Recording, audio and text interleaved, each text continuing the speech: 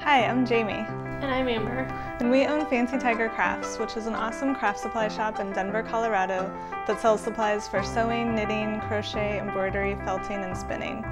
We also teach workshops in all of those crafts.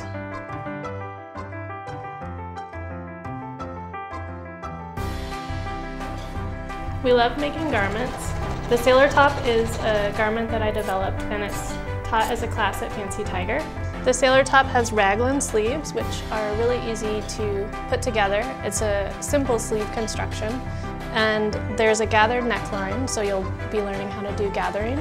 And also we're gonna do a hem that mimics that facing, so it looks really nice. It complements the edge of both the sleeve and the hemline. It's been taught to a lot of different people, a lot of different body types, and it looks great on everyone.